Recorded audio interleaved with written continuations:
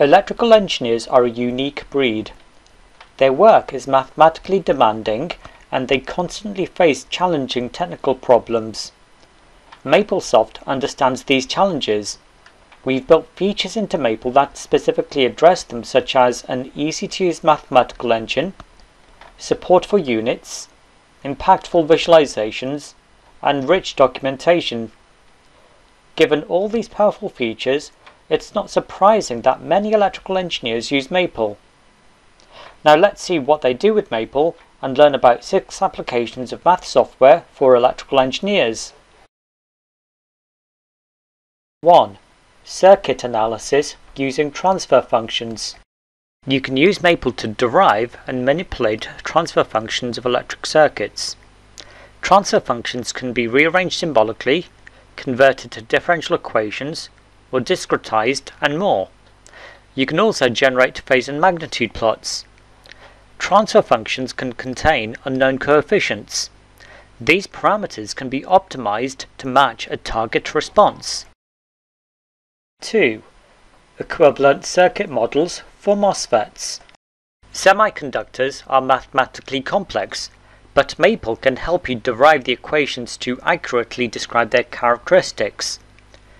For example, MOSFETs are an important component of modern electronics such as smartphones and other portable devices. With Maple, you can turn equivalent circuit models of MOSFETs into analytical equations by writing down and manipulating the basic relationships. 3. Worst case circuit analysis.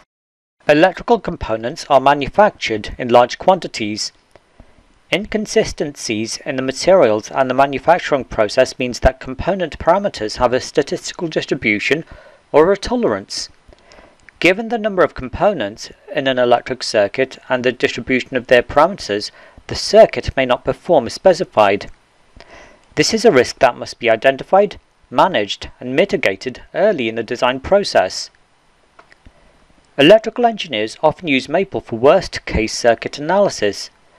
You can either employ Monte Carlo analysis, in which parameters are randomly selected from a distribution and the circuit simulated, or evaluate the circuit equations at the extreme values of all circuit components.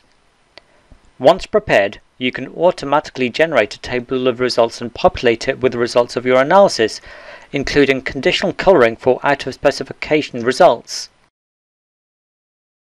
4. Stub matching on a transmission line. RF and microwave engineers often need to match load to the impedance of a transmission line. This is known as stub matching and involves numerically solving a nonlinear set of equations. This needs strong numeric solvers, as are found in Maple. This supersedes traditional approaches using Smith charts. The parameters in these problems usually have dimensions. For example, resistances are in ohms and distances are in meters. Maple can carry units from parameter definitions through the numeric solution of equations and into the results. 5. Antenna design. Practitioners in antenna and radar design use Maple to create executable design documents and interactive applications that capture the spatial, temporal, and spectral aspects of their designs. The documents can contain the equations, programming, plots, rich text, and images necessary for their designs. These design documents and interactive applications can be deployed to the web or locally to the desktop. 6. Digital signal processing. Maple offers many tools for analyzing and manipulating signals, audio, and images.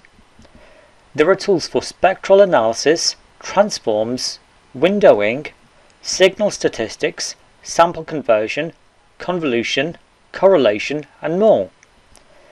This functionality is supported by the broader Maple ecosystem, which includes functions for statistics, optimization, interpolation, matrix computation, and more. Your results can be presented with flexible plots and charts. You can finesse the look and feel of those visualizations, right down to the precise grading of the colour range on a spectrogram. Given Maple's flexibility, you've seen just a small selection of what electrical engineers can do with Maple.